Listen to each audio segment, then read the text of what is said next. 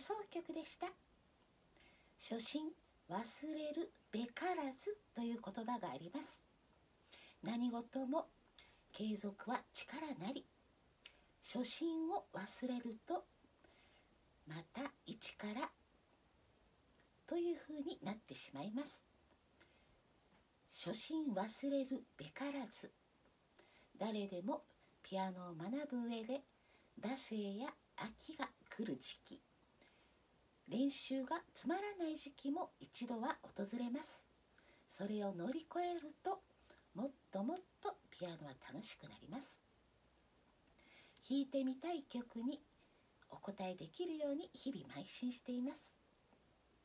簡単なコードネームを理解して簡単な曲に伴奏付けができる。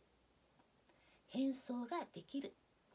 いろんなリズムでコードネームを理解してけると演奏の幅も広がります。ドレミの14記号の1非常に音域の広いピアノですが楽しいから練習は続きます。